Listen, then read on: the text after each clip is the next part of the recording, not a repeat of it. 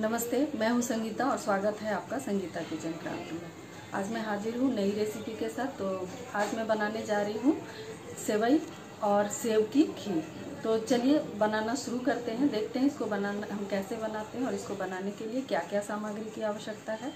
तो चलिए, बनाना शुरू करते हैं। सामग्री में मैंने लिया है एक बड़ा एप्पल को, जिसको मैं धो करके और इसका कद्दूकस कर ली हूँ। ये एक बाउल यानी एक कटोरा में एप्पल यानी सेव को कद्दूकस करके रखी हूँ। ये दो बड़ा चम्मच अमूल पाउडर है और आधा कटोरी मैं सेवई ली हूँ। ये सेवई भुना हुआ है, जो मार्केट में मिलता है, उसी को। और चीनी मैं आधा यानी चार चम्मच छोटे चम्मच से मैं ली हूँ। अब इस, और थोड़ी सी बादाम और चार इलायची लिया है। सबसे पहले मैं कढ़ाई को गर्म करने चढ़ाऊँगी। एक बड़ा चम्मच मैं बटर ली हूँ, इसको डाल लूँगी। इसको मेल्ट होने देते हैं। इसे ज़्यादा गर्म नहीं करना है, क्योंकि बटर जो है वो काफ़ी जल्दी जलने लगता है। तो जैसे ही ये थोड़ा सा मेल्ट होगा ना, आप चाहे तो इसमें घी का भी इस्तेमाल कर सकते हैं, और मैं इसमें बटर का यूज़ कर रही हूँ। तो ये जैसे ही मेल्ट होगा हम ये जो सेवई है इसको हम डाल देंगे। इसको ज़्यादा देर नहीं, बस थोड़ा सा हमको इसको भूनना है। क्योंकि ये ऑलरेडी भुना हुआ है तो हम इसे थोड़ी देर के लिए बस भूनना है इसे। जब हल्का सोना लगने लगेगा तो हम इसको निकाल लेंगे।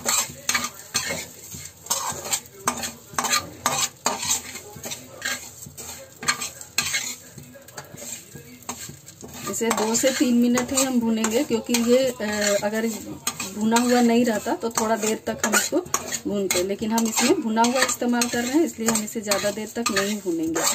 दो से तीन मिनट हो गया, अब हम इसको निकाल लेते हैं।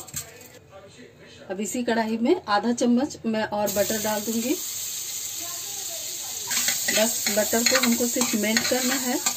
ये जैसे ही मेल्ट होगा, मैं जो सेव या एप्पल को जो मैं ये कद्दूकस करके रखी हूँ ना उसको हम इसमें डाल करके भूनेंगे थोड़ी देर के लिए।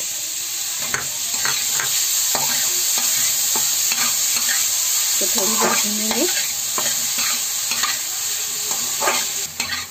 जैसे ही ये भूनने लगेगा तो मैंने तीन से चार जो इलायची ली थी, उसको बस ऐसे ही उसका कवर खोल करके साथ में हम इसमें डाल देंगे।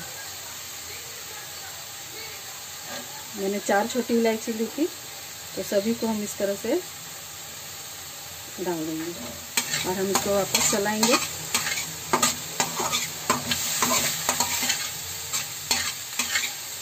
हमारा सेव देखिए भून गया है। बस इतना ही इसी स्टेज पे हमको बस हल्का रेड होगा।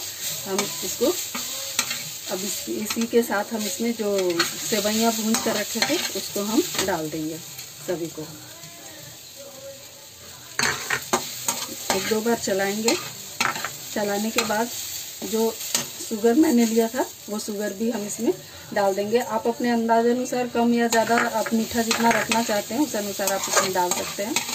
तो मुझे कम ही मीठा पसंद है, इसलिए मैं कम ही डाली हूँ। बस इसको इस तरह से भूनना है।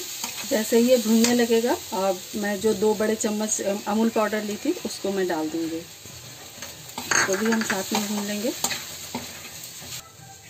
अब हम इसमें दो बड़े चम्मच दूध की मलाई जो है ना, वो मैं रखी हूँ। उसको हम डाल देंगे इसी में, और इसको हम चला लेंगे।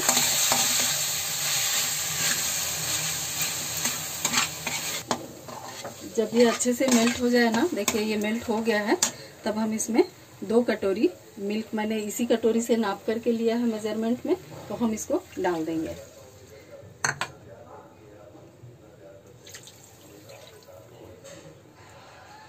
अब हम इसको धीमी आँच में ही, ज़्यादा आँच तेज़ नहीं करना है, मीडियम आँच में ही हम इसको थोड़ी देर के लिए पकाएँगे।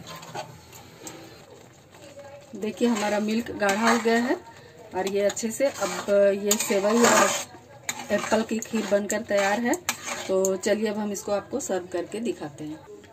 देखिए फ्रेंड एप्पल और सेवई की खीर बनकर तैयार है। अगर आपको हमारी रेसिपी पसंद आ रही हो तो प्लीज़ कमेंट करके ज़रूर बताएँ। हमारे वीडियो को लाइक करें चैनल को सब्सक्राइब करें और हाँ बेल आइकन को दबाना बिल्कुल ना भूलें, ताकि हमारे आने वाले नई वीडियो की नोटिफिकेशन आप तक पहुँचे। मिलते हैं अगले वीडियो में नई रेसिपी के साथ। तब तक के लिए धन्यवाद।